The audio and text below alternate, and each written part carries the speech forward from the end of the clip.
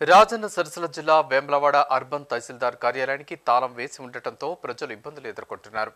మొన్నటి వరకు జరిగిన అసెంబ్లీ ఎన్నికల్లో భాగంగా విధులు నిర్వహించడానికి వెళ్ళిన సిబ్బంది కార్యాలయాలకు ఎవరూ రాకపోవడంతో కార్యాలయాల్లో ఖాళీ కుర్చీలు దర్శనమిచ్చాయి. వివిధ పనుల మీద కార్యాలయానికి వచ్చిన ప్రజలు తిరిగి వెళ్తున్నారు. వెంటనే అధికారులు స్పందించి సిబ్బంది అందుబాటులో ఉండేలా చర్యలు తీసుకోవాలని ప్రజలు కోరుతున్నారు.